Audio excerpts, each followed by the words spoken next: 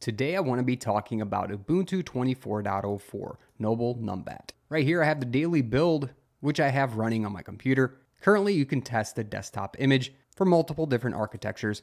The 24.04 release is a long-term supported edition and they have exciting updates we're going to dig into today and see what the next two years brings us. I'm testing out the Noble Desktop AMD 64 version. And to start out, one of the biggest changes here is the installer for how you install Ubuntu. It is now a Flutter based application. And as part of this transition, they've improved the user experience to reflect the new functionality of the installer and the values of Ubuntu Desktop. By using Flutter, we can benefit from the ability to rapidly iterate and polish the user experience, meaning we can continue to evolve the experience to become more easy over time. There's a great read here about the new installer and why they actually chose to use Flutter for this, but we're going to go back to running through this installer. First, you have access to accessibility in Ubuntu once you've selected your languages. You can customize if you're hard of seeing, hearing, typing, pointing and clicking, zooming, etc. You then select your keyboard layout, much of what you've done before. You can use wireless or wired devices and try or install Ubuntu. Overall, we have a very nice modern theme here, and there's not much in the way as they've added what seemingly seems like more steps. But for beginners, this is perfect because they've made it easier to follow along and not overwhelm you with all options. So we're going to install and we can go through the automated installation. These are for people who have an auto install YAML file. Basically, if you're creating repeatable systems or the interactive installation, which if we're new to Linux and Ubuntu, we would select what apps would you like to start, the default or extended, and then we can install third-party graphics and Wi-Fi, firmware, or additional codecs or media formats. This looks like what we've seen before. You can erase your disk and install Ubuntu or do a manual installation where you can manually set up your partitions. You put in your username and password and afterwards select a location and finally run through the install. Overall, I found the experience very beginner friendly. I do like the way that they've created this. It's much like what you experience in previous Ubuntu versions, but a cleaner and more user friendly setup. So I'm excited for everyone to check out the new installer.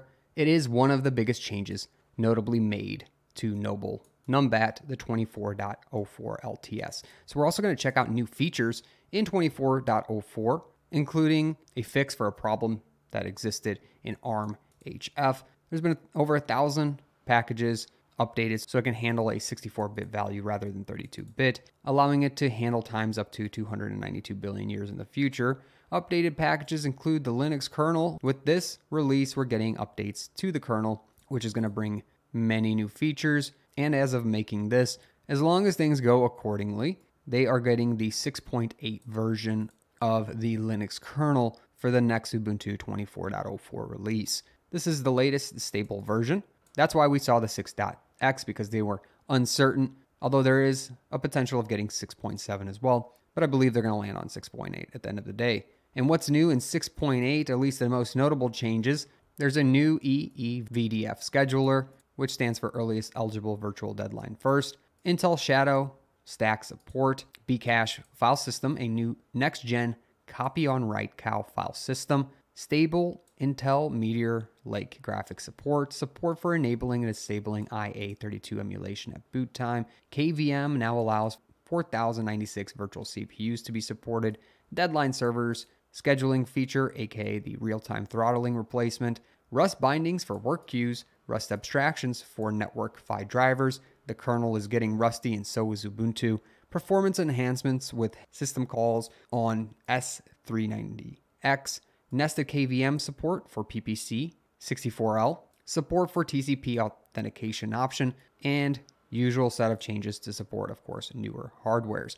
So if you are one with new hardware, you're going to want to check out Ubuntu 24.04. It will be able to handle some of the latest drivers through the Linux kernel 6.8. We're going to be talking about the desktop that's going to be featured in the new Ubuntu 24.04 release, as we're going to talk about the support cycle for this new version. And here we have some of the long-term support additions. They haven't updated this quite yet, but 24.04 of course is going to be replacing these two right here, which are not long-term support additions. You can tell by the block of only for about a year here. So of course you don't want to use these in production environments. Instead, the long-term support additions are what's great for a stable environment as well as a stable production environment. What does that mean? Well, you can look through here. All their long term support editions come with standard security maintenance for up to five years from release, and then extended or expanded security maintenance for an extra five years.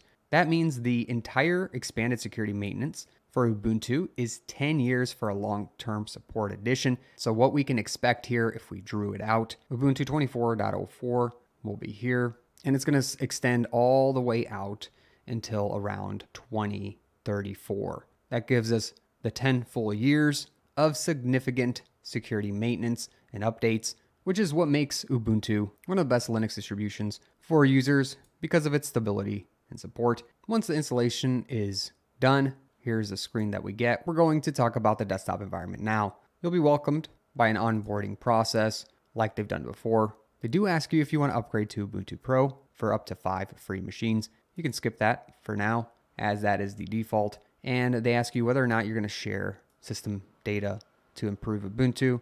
I always select no because I personally like to opt out of telemetry. One thing we're definitely going to check out is the newly re- redesigned Ubuntu's App Center and what that means for people using Ubuntu. But for now, here's a desktop which boasts GNOME 46. Let's go check to make sure that's true. And what I'm going to do is run neofetch here. That way we can look and see what kernel and desktop environment we're running. Currently, this is being emulated on an AMD Ryzen 7 3700X series. We're using 963 megabytes out of 8 gigs. For GNOME 46, this is actually somewhere in the mid tier as far as memory usage goes for a desktop environment. It's nice to see them actually pulling back memory usage as they're optimizing GNOME. I do like to see that. It's using the 6.8 kernel right now, the window manager theme being Adwaita with Yaru on top of that for icons and theming made by Ubuntu. Fantastic stuff. So there's a lot to share with GNOME 46. We're not going to get into everything, but one of the nicest features, at least I think, is you have this sort of like start button, which is called Show Apps, with a prominent display of an icon, making it easy for users to find. That way they can actually go through and open up any applications inside of their operating system currently installed and switch between various different workspaces including a search bar up top to search for other applications. And there is a great breakdown from GNOME. I'm going to post it in the description below called Introducing GNOME 46 Kathmandu.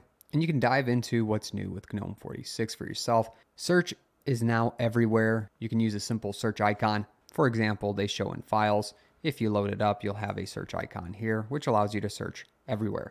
Enhance file applications, things like dynamic progress sections, at the bottom of the sidebar, you can see things like files getting copied and a more enhanced and better view of what's actually happening currently. There's been some code refactoring, which makes for changing views instantaneously, making it faster and a more frictionless experience, as stated above.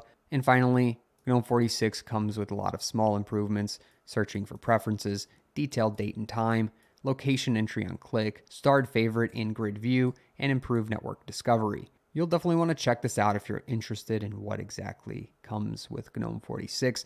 Again, the link will be in the description below. Let's go back to focusing on Ubuntu 24.04 and talking about another big change. Yes, that's right. The App Store has seen a revamp again, and I gotta say, it looks great. Minimal, beautiful, modern, easy to see what people like the applications. They have a notable ranking system that tells you whether an app is good, very good, or bad, including something called insufficient votes. AKA, as people use the applications, they can vote on whether or not they like the application, and that will show prominently in these heading displays for the various different applications. There's also a featured snap section, gaming section, and various other categories that you can choose from. If you want to go to the featured, you can do that. And there's various different sort by features. Again, we get the name of the application, who created it, and if they are a star provider and or a verified provider. It tells you a little synopsis about the application itself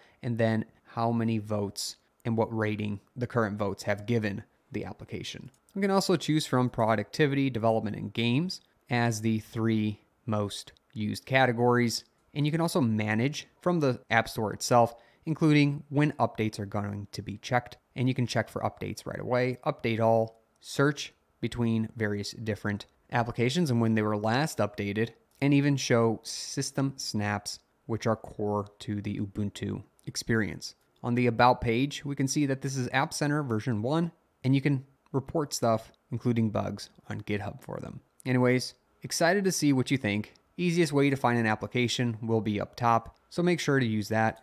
And then if you want, you can switch between Debian source packages or snap packages, whatever you like personally. But I'm liking the way that they've made the user experience even better for us in the App Store. Of course, as we get into other things, Systemd was updated, Net, NetPlan was updated, toolchain upgrades, including GCC, Python, Perl, LLVM, and Rust are all updated as far as toolchains go. OpenJDK, .NET, Golang. There's been security improvements and default configuration changes as well. I'll post a link in the description below because there are a lot of little changes that were made.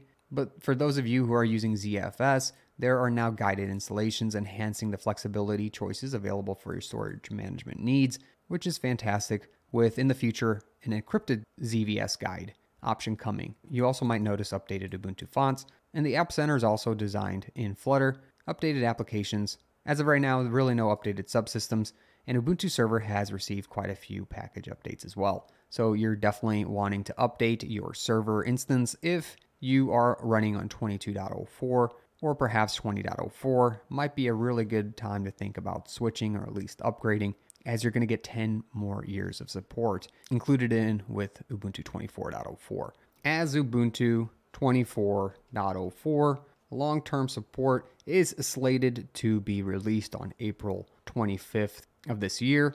Do you plan on using it? Is there some feature that is notably worth switching for? I'd love to hear about it. Hopefully you're excited. If you are, think about subscribing below for future videos. I'll catch you in another video. Thanks for watching. Linux can be hard to understand, but I take the most commonly used terms, commands, and subjects in Linux and I break them down into simple to read documents, including Linux terms, flashcards, a checklist, a cheat sheet, and a mind map. And if you're ready to level up your Linux experience and knowledge, go to learn.savvynik.com now and get access to these sheets.